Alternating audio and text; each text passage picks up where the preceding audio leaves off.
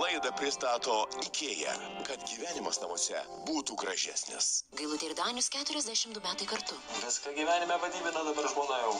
Taip. O dar savo nuomonę turi.